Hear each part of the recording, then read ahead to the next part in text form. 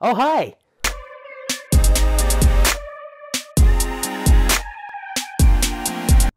So today I'm going to show everyone here how to do a warp stabilizer.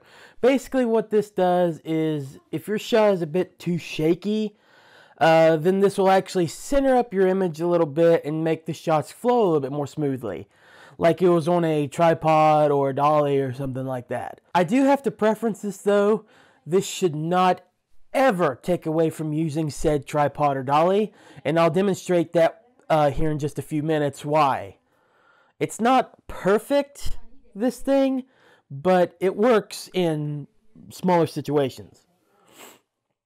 First, let me show you a little footage I took from both my phone, which I'm using here, right in front of me, and my camcorder that I'm using on this side of me. I messed with the settings a little bit on my camcorder, so if one shot looks a bit too bright or too or too warm or too soft, then it's because I messed with those settings on there.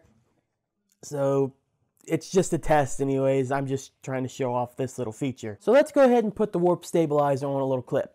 It's really simple honestly. Once you have your clip logged, go ahead and place it onto your timeline. Then just go to effects and search warp stabilizer. At this point it will show you exactly where to find it, but for time's sake, it's easier just to search for it. Then just drag the effect over to the video and let it stabilize.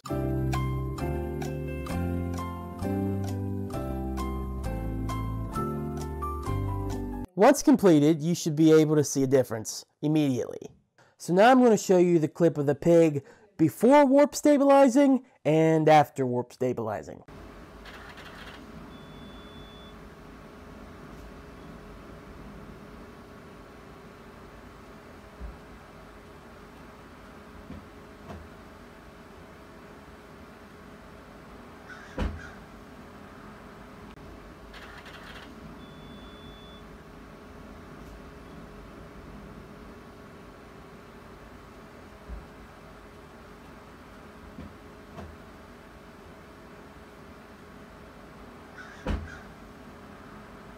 Not 100% perfect, but it works.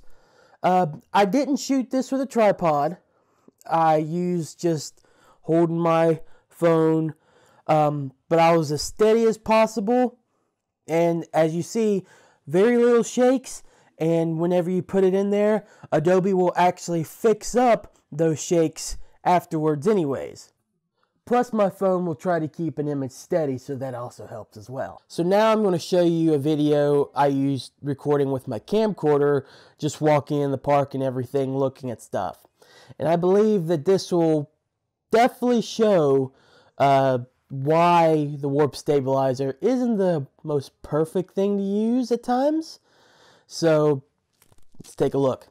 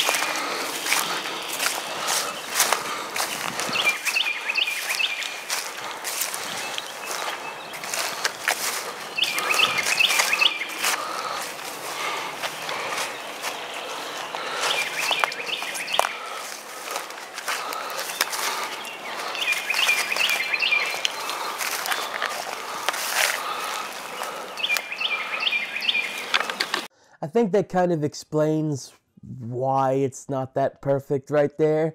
I mean, there was a lot of shakiness. I was going a lot of places with my camcorder. So it's not perfect.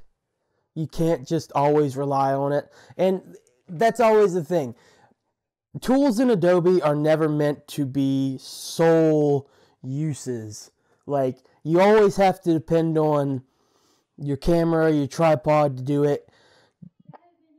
But it's really up to you recording everything and then using the tools Adobe has extra to make your video better. And even with that, there are ways to fix it, but it's not practical and you basically will have to cut out a huge chunk of the actual image to be able to get it to fit.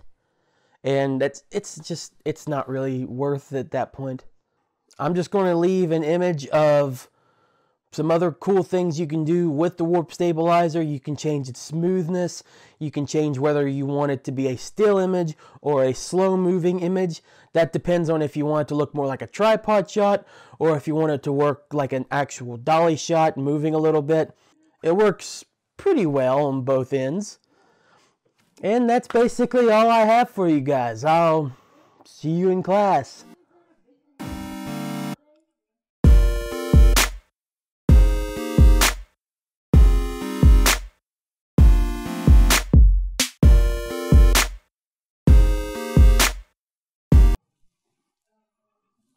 Hope that didn't come up in audio.